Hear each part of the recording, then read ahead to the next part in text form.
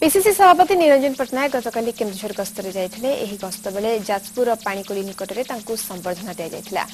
ଯାଜପୁର ଜିଲ୍ଲା କଂଗ୍ରେସ କମିଟି ପକ୍ଷରୁ ଏହି ସ୍ୱାଗତ ସମ୍ବର୍ଦ୍ଧନା ଦିଆଯାଇଥିଲା ଏହାପରେ ପିସିସି ସଭାପତି କେନ୍ଦୁଝର ଗସ୍ତ କରିଥିଲେ ସେଠାରେ ପହଞ୍ଚିବା ପରେ ତାଙ୍କୁ ହଜାର ହଜାର କଂଗ୍ରେସ କର୍ମୀ ସ୍ୱାଗତ କରି ମୋଟରସାଇକେଲ ରାଲିରେ କଂଗ୍ରେସ ଭବନକୁ ଆଣିଥିଲେ ଏଠାରେ ସେ ପୁଣି ଏକ ରାଲିରେ କାଳିପଡ଼ିଆ ସଭାସ୍ଥଳକୁ ଯାଇଥିଲେ ସେଠାରେ ମଧ୍ୟ ତାଙ୍କୁ ସମ୍ବର୍ଦ୍ଧିତ କରାଯାଇଥିଲା ଏହି ଅବସରରେ ସେ କର୍ମୀ ଲୋକମାନଙ୍କୁ ସମ୍ବୋଧନ କରିବା ସହିତ ନବୀନ ସରକାରଙ୍କୁ ସମାଲୋଚନା କରିଥିଲେ ଖଣି ପାଣି କୋଇଲା ଓ ଡାଲି ଦୁର୍ନୀତିରେ ସମସ୍ତେ ଏକଜୁଟ ହେବାକୁ ସେ ଆହ୍ୱାନ ଦେଇଥିଲେ